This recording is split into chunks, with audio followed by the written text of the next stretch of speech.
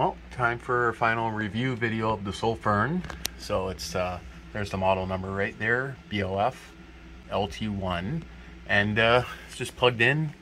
I was just playing around with it, using it for a bit, and uh, just so everyone knows, it's USB Type-C charging, which is pretty freaking sweet.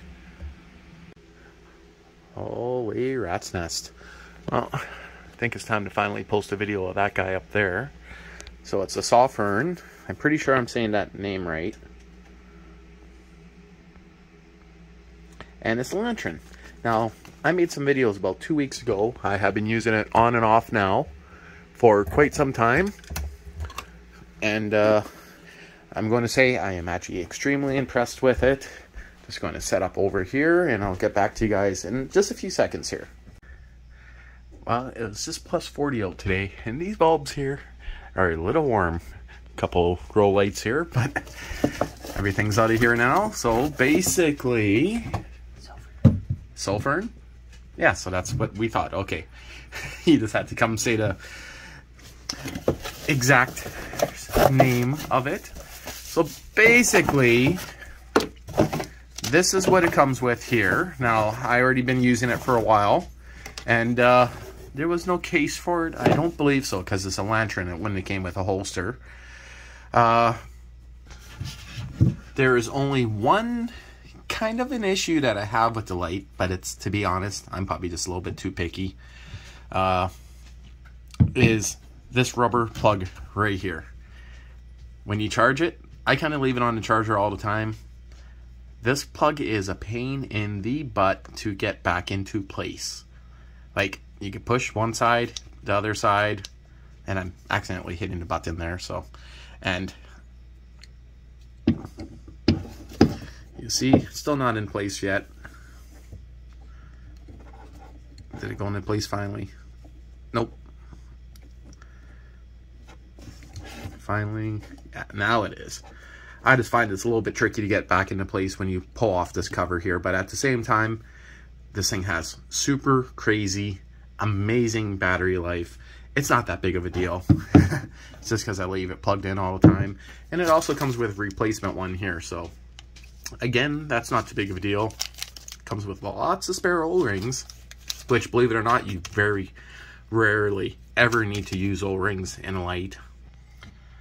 Okay, so I just wanted to pop it open here. You guys can see very nice looking on the inside. There is an adjustable pot there, which, to be honest, I'm kind of afraid to turn it. Hmm. But you guys can see there's a little bit of information on there.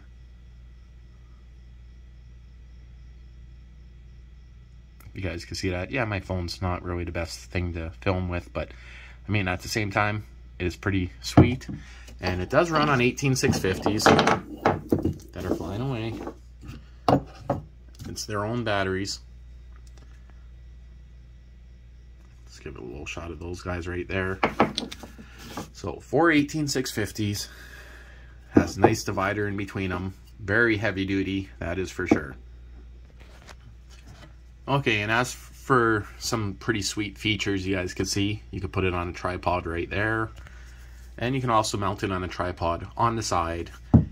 You can also hang it up right there.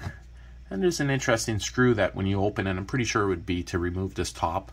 I have not done that and I don't plan to do that. Again, this is a very great emergency light. I'm going to turn it on here. You see multiple different brightnesses multiple different molds, which to be honest, I am still learning the molds. Now, it is very, very advanced, I'm going to tell you. If you want to use any of the special molds, you can get this thing blinking like uh, candle, thunderstorm, some pretty sweet settings. I only been able to get it into those molds a few times, but I actually haven't played too long yet trying to do those settings because for me, it's a lantern. I don't need those settings. But the one time I got it into those molds, it was pretty sweet. Uh, also has uh, cool light and just a normal kind of yellow light, which is kind of neat. As an example, the, yeah, never mind, my camera doesn't show it up here. I was going to say warm light, cool light, but doesn't really show up. Again, you could switch this. That's fairly easy to do. And I'll just give you a quick shot here of the user manual where you can switch those settings. And you guys can see what I mean.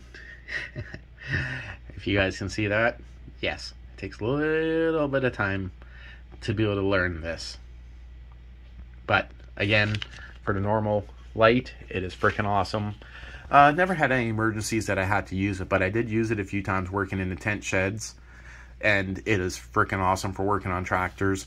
The one thing I am going to mention that, yes, it's a lantern. You cannot carry it in front of your face when you're outside. It's going to blind you. You kind of can't do this because it's not as bright. Uh, you can hold it above your head, of course, that's going to be fine. But realistically, it's designed to be hung above your head or somewhere higher up or in a workplace. But never right in front of you because then you just kill your night vision. Again, it's not a flashlight, it's a lantern with extremely decent runtime. Uh, if you follow this guy here, DBSAR, on YouTube, I noticed he does have some pretty interesting videos talking about the designing it. You could say trial and error, different changes they made. Then he had Sulfur make it for him. So you can also go online, search this guy right here. You'll see uh, on a few different flashlight forums talking about the build, the design, everything. It's kind of an interesting light, and it has a lot of information online about it. Uh, as for the user manual here, you guys could probably go on their website if you actually really want to see this. But again, it is some pretty interesting features that you can make this light do. huh. And there's some information there if you want to see what the emitter is. So it's Samsung, you guys can see LH351D. Well, I decided it's still plus 32 outside and it's dark out, but I'm not going to go out make a fresh video. I'm going to insert the video from when I just got this because that's going to be the best footage. Uh, right now it's kind of a shitty day and too warm. So you, the footage that you guys are going to see at the beginning of this video is going to go in order is from when I first got it. You see a little bit of dust building up, but that's because I just leave it hanging up by the front door. And again, I am very happy with this. I've been looking for a form of a lantern to light up, say, the tent shed and it is amazing. I'm actually going to probably purchase a second one so I could keep one uh, in the back door or one by the back door and one by the front door. Okay, let's give this guy a little bit of a test here. Now, this also probably won't show up the best because no matter what angle I hold it at, it's going to blind me. What is she doing to the poor trees? Maybe I'll hold it on top of my head.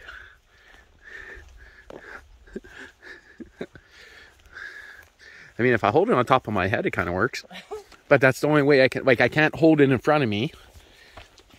Kind of blinds you a little bit. It does, yeah. If I hold it down here, I guess it's... She's trying to help me dig out the stumps.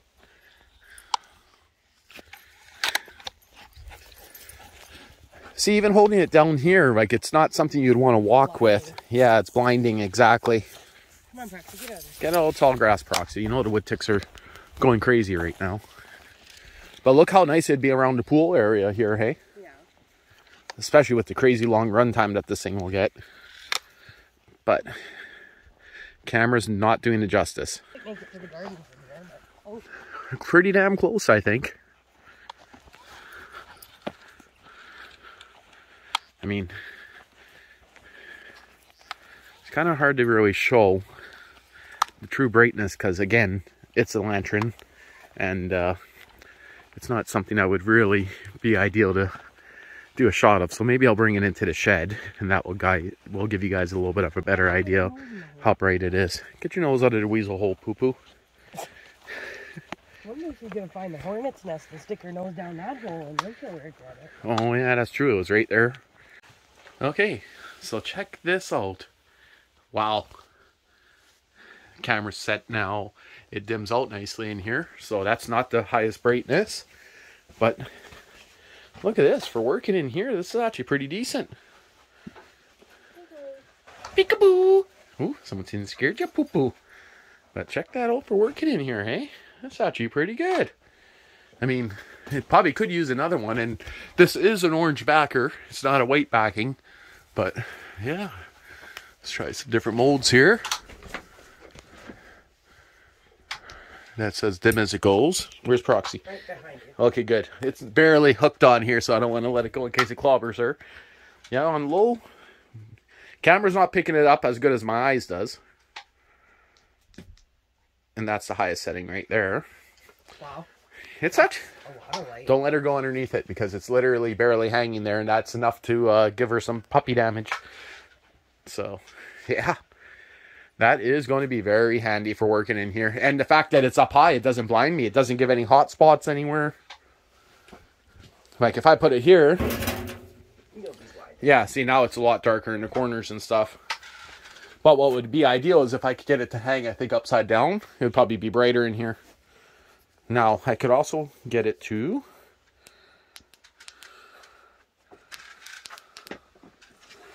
Okay, that's the yellow now. The, the yellow light doesn't really show up as good here. But it's changed it from cool light to the yellow mode. You guys see the little hook there? See what I'm hooking it on? Yeah. smells like farts in here. Proxy, did you just fart in my tent shed? Oh, smells like dog fart in here. Okay. Don't fall on my head. Guaranteed if I'm going to leave that in here, I'm going to have to make a better way of hooking it. Okay, so now that's on more of a yellow light, but again, my phone's not picking it up. But I don't exactly know how long the runtime is, but seeing how you could say many lumens it has, oh, I'm going to give it a test. That's going to be in this video. I'll say how long. But yeah, that is pretty freaking amazing for working in here. That is freaking amazing. This is almost as much light, you could say, as when the sun's in here, like during the day. That is pretty sweet. So far, really loving it. Yeah. This guy's a little angry, isn't it?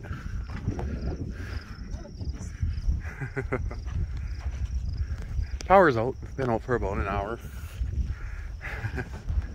oh, yeah, she's so angry. Look at the sun.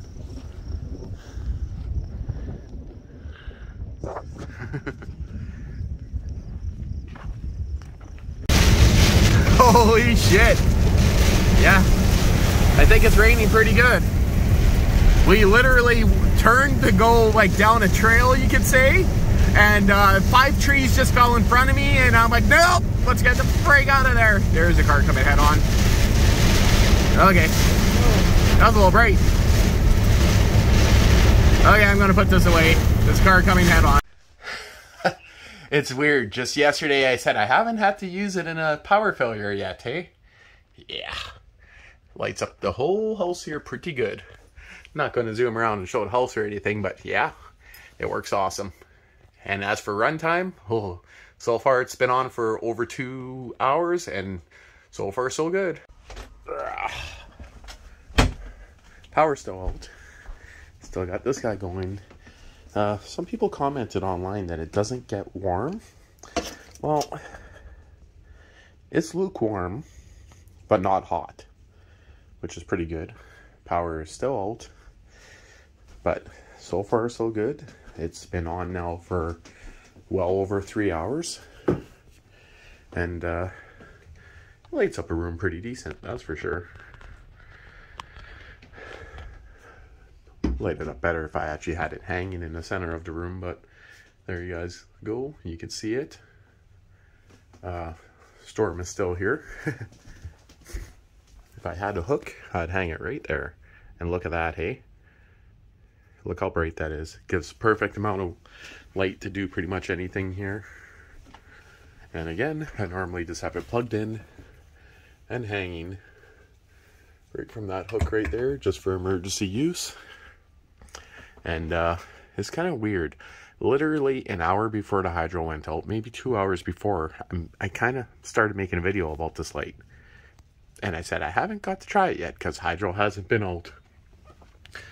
But yeah, that is pretty decent.